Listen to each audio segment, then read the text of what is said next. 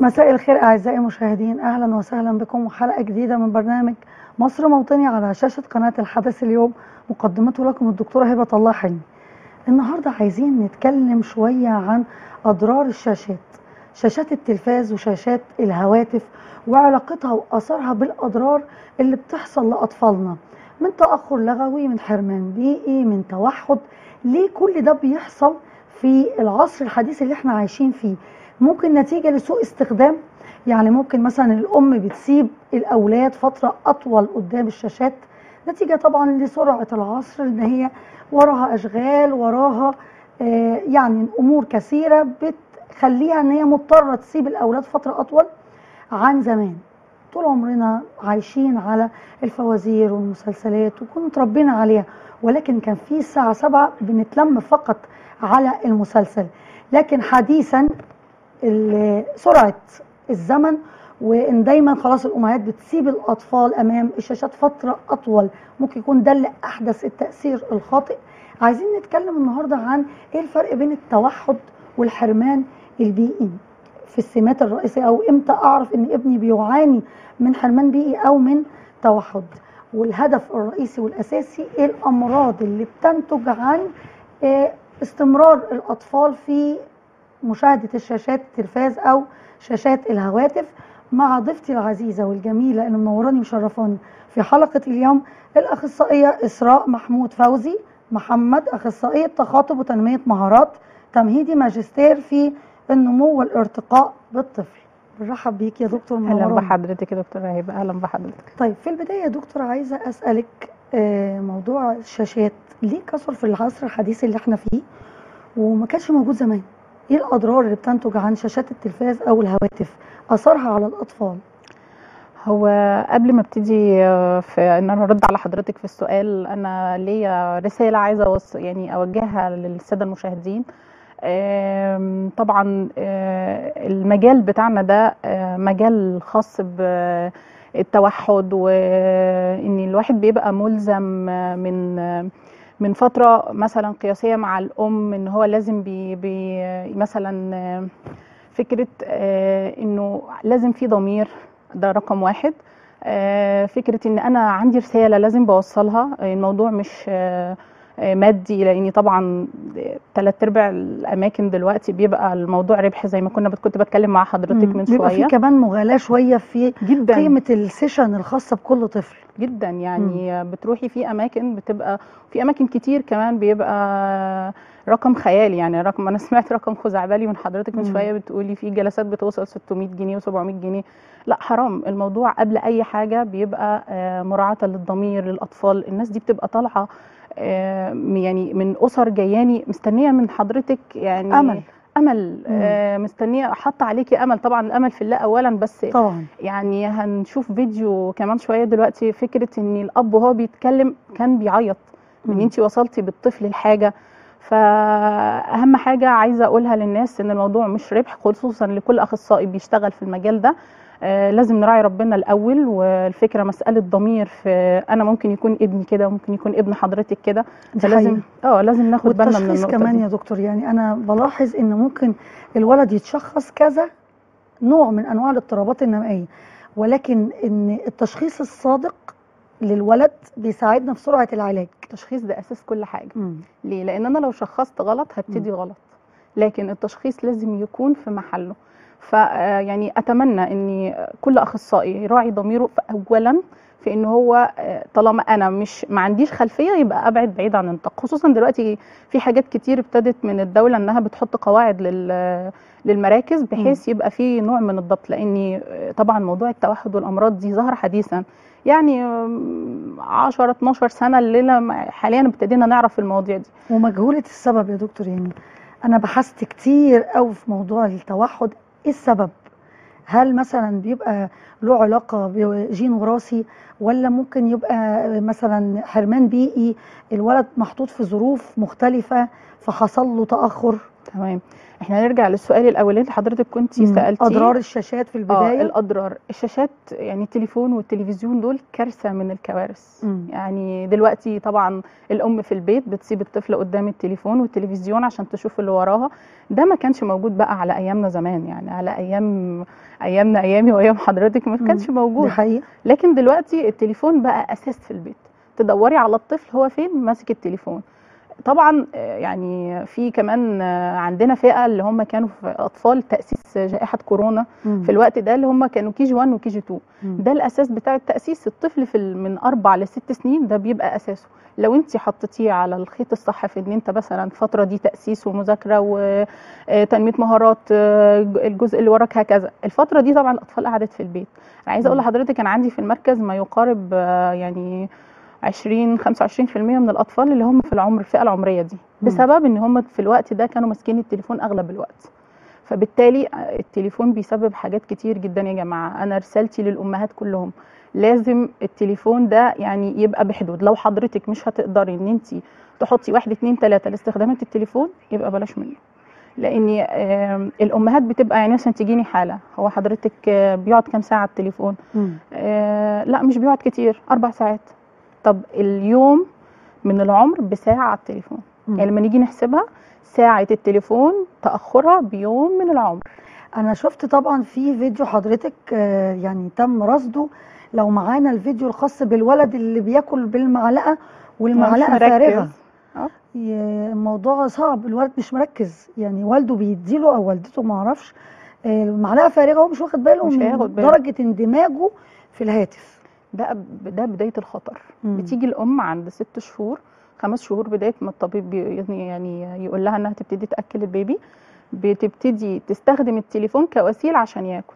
ده بقى- علشان يقدر ده يستقبل بداية الأكل. الخيط الخطر. ده مم. ناخد بالنا منه كويس جدا. ما ينفعش. التليفون تحت سن السنتين طبعا في 2019 منظمة الصحة العالمية نزلت تقرير ونصحت بيه كل الناس بإن إحنا لازم نوقف التليفونات تحت السنتين. مم. أنا بقول لحد أربع سنين وخمس سنين. مم. ما ينفعش إن إحنا يعني نستخدم- حتى ولو ساعة في اليوم؟ لا ممكن نعمل حاجة حلوة. مم. بمعنى إن أنا بحدد الفيديوهات أو ال- الألعاب مثلا اللي أنا عايزة الطفل يلعبها. وبلغي عنده مثلا الواي فاي بحيث ما يبقاش عنده فكرة أكتر إن هو يستدرك كمان الفيديوهات اللي هي السريعة اللي على ال Reels والحاجات اللي زي كده. دي بتسبب نوع من الفراغ للطفل. هو أصلا المخ فاضي تمام. في المرحلة العمرية مثلا سي من سنتين. مم. فأنا ببتدي بملى المخ بفراغ مش بملاه باللي المفروض آه، يعني حاجة تكون مفيدة. فلو مثلا لو خليناها نص ساعة في اليوم عشان ما ينفصلش عن العالم التاني. يبقى فاهم إن في عالم موجود. لازم. طيب يا دكتور لو قارنا وده أنا شفته بعيني آه، طفل طبيعي ما فيش حاجة ما عندوش أي نوع من أنواع الاضطرابات النوعية وطفل مصاب مثلا نقول بسمات توحد ده قاعد على الموبايل فاكتسب آه، أنشودة اكتسب حروف اكتسب أرقام وبيرددها والتاني اكتسب إنه بيعيد ويزيد في الفيديو مرارا وتكرارا. ليه ده حصل له كده وليه ده ما حصلوش كده؟ تمام. هو طبعا آه، فكرة إن الطفل الطبيعي إحنا لو اتكلمنا على الطفل ال normal مم. في طفلين ممكن يكونوا normal. لو أنا حطيتهم قدام التلفزيون بتيجي الأم تقول لي إيه؟ طب ما هم اتنين إخوات. فيهم واحد اتكلم من التلفزيون وفيهم واحد ما اتكلمش وتاخر بالظبط. الموضوع بيبقى ليه شقين. مم. شق ليه علاقة بالوراثة وشق ليه علاقة بالبيئة. لو أنا دلوقتي عندي حد آه، عنده تاريخ مرضي بالسكر يعني والده ووالدته عندهم سكر بياكل حلويات بشرة إيه اللي هيحصل معرض أكيد للإصابة. بيبقى بال- بالأكثر يعني إن هو هتجيله سكر مم. فبالتالي آه، لازم يبقى في آه، فكرة إن ال- ال- الحرص. الوراثة. آه والوراثة بتلعب دور مهم جدا فأنا مم. في واحد عنده استعداد وراثي لما. بحطه قدام التلفزيون بيبقى عنده استعداد وراثي فالوراثة والبيئة هيئت لي إن هو يكون في مشكلة مم. ده الفرق بين الاثنين آه يعني آه، في آه، النورمال أما بالنسبة للتوحد دي قصة كبيرة تاني ما يعني إحنا نتطرق ليها آه، برضه بس عايزة. أسألك هل من خلال خبرتك في المجال اتعرض عليكي حالة ميؤوس من علاجها أو ايا كان الأعراض المرضية الخاصة بيها؟ ولكن حضرتك قدرتي بقدرة ربنا طبعا وبمشيئته إن مع الجلسات التخاطب المستمرة وما إلى ذلك تم شفائها؟ آه عندنا في حالة في المركز آه، جات لنا هي زراعة قوقعة. زراعة. القوقعة دي يعني الطفل هو مش بيسمع. في إحنا الأول. طبعا معانا الفيديو في الكنترول لو جاهز يا ريت نطلع. طيب نطلع بس يا دكتور بالفيديو. نشوف الفيديو ونرجع لكم تاني. وزي ما شفنا أعزائي المشاهدين في التقرير ما شاء الله إن في اختلاف يا دكتور قبل وبعد إن ما كانش في نطق خالص. خلينا مع الحالة الأولى سارة تقريبا. تمام. آه، قولي لي إيه اللي كان الأعراض أو التشخيص المبدئي المرضي وقولي لي إزاي تم التعامل مع الحالة. هي سارة لما جات لنا ما كانش فيه كلام خالص لأنها ما كانتش بتسمع فبالتالي ما فيش كلام. أول مرة كانت سمعتنا للكلام آه، كانت بترفرف بإيديها جامد من كتر ما هي مش فاهمه يعني إيه إيه اللي أنتوا بتقولوه ده يعني. مم. الحمد لله بعد فترة يعني آه، ممكن تكون سنة سنة إلا آه، انفصلت شوية كان عندها ظروف رجعت لنا تاني. التقييم بتاع سارة كان جاي تقرير من طبيب إنها صعب تتكلم. بحكم إن طبعا زراعة القوقعة دي يعني سبحان الله هي ما بتسمعش فبالتالي الكلام بيكون صعب جدا. بس الحمد لله الحمد لله طبعا بفضل ربنا الأول أنا ما يئستش. ما يئستش أنا وفريق العمل معايا آه، ابتدينا معاها خطوة بخطوة لحد ما باباها ما كانش مصدق. يعني زي ما حضرتك شفتي في الفيديو. ما شاء الله ربنا يا رب تم شفاء آه آه الحمد لله. المده يا دكتور الفترة اللي فضلتي بتحاولي مع سارة بالجلسات كانت قد إيه؟ يعني حوالي سنة لو الإجمالي خالص كانت سنة سنة مم. لحد ما سلمتها زي ما شفتي حضرتك الاحتفال. اللي إحنا. اتمناه أما بالنسبة لسلمى الحالة الثانية دي كانت نورمال مفيهاش أي مشكلة مم. سلمى دي حالة تليفون بقى كانت بتمسك التليفون عدد ساعات كتير ممكن توصل ل 8 ساعات في اليوم مم. فكانت النتيجة إنها خمس سنين ومفيش كلام مفيش تواصل يعني كانت بتتكلم وحصل انقطاع للكلام لا لا لا لا لا ما كانتش بتتكلم ما كانتش بتتكلم بس كانت بتمسك التليفون 8 ساعات في اليوم مم. 8 ساعات ده يعني رقم خزعبلي بالنسبة إنها تتأخر الساعة زي ما قلنا بيوم. سيبيها بقى كده لحد خمس سنين كتيرة جدا. طبعا. طيب يا دكتور عايزة برضو أقول لحضرتك التشخيص المبدئي هل بيكون له علاقة مثلا حضرتك بتعملي إجراءات اختبارات؟ آه عشان تعرفي نوع آه الاضطراب النمائي عند الطفل ده مثلا تأخر لغوي ده لأ ده حرمان بيئي لأ ممكن يكون ده توحد. قولي لي التشخيص الاولي اللي بتجريه على أي بيشنت بيجي لك. أيوه طبعا طبعا لازم مفيش حاجة اسمها إن أنا آه، ممكن أقيم طفل من غير تشخيص. غير اختبار الذكاء. غير اختبار الذكاء. اختبار الذكاء ده بيحدد لي نسبة الذكاء أو المشكلة فين مثلا لأي حد. اختبار الذكاء ده ممكن نقيمه على الناس العاديين من سنتين. لحد 70 سنة. ده اللي هو بنيه الصورة الخامسة. ده ما فيهوش مشكلة. أما ال- التقييمات التانية لازم آه، اختبار التوحد لازم في اختبار للتوحد بقيمه على الطفل عشان أعرف نسبته كام شديدة بسيطة ما فيش أصلا بس بيظهر. يعني مثلا الأخصائي طبعا بعد الخبرة مثلا بيبقى في سمات بتظهر على الطفل آه، أو صفات زي إيه مثلا رفرفة آه، يحط إيديه على ودانه ويفضل يصوت آه، بتلاقيه. زوكاوي. آه. لازم بتبقى في على الأقل 12 صفة بتتجمع من ال 22 صفة. عشان أقدر أقول إن عنده توحد. لكن ما يبقاش الطفل عنده تواصل بصري كويس وبيتكلم معايا وبيتفاعل. وأقول إن أنا أعمل له اختبار توحد. ما هو برضو يعني النقطة دي بتلعب فيها الخبرة. تمام. أنا ببقى شايفة هل هو محتاج أو مش محتاج. لكن التقييم ده بيتعمل للكل سواء آه، تأخر لغوي آه، آه، مشكلة في التواصل البصري ايا كان. بيتعمل تقييم مبدئي وبناء عليه بحدد الاختبار اللي جاي إيه. طيب أنا في برضو نقطة مهمة جدا كده راودتني وحضرتك بتتكلمي. طب لو طفل عادي وكان بيتكلم وفجأة حصل له انقطاع لعدم الكلام أو مواكبة الكلام ده ممكن نشخصه حرمان بيئي ولا توحد؟ نتيجة للشاشات برضو أو الهواتف؟ لا لا لا لا ملوش أي علاقة. الحرمان البيئي ده نقطة والتوحد ده نقطه, ده. نقطة تانية. أما اللي كان بيتكلم بينهم. تمام. اللي كان بيتكلم منقطع مرة واحدة ده ده يعني صعب تحصل. إن هو يبقى بيتكلم ويعني كلام عادي ويقطع خالص. قصد حضرتك ما يتكلمش خالص؟ يعني آه حصل له تأخر مثلا. لا ده بيبقى أكيد 90% سبب عضوي. سبب عضوي ولا آه. نفسي؟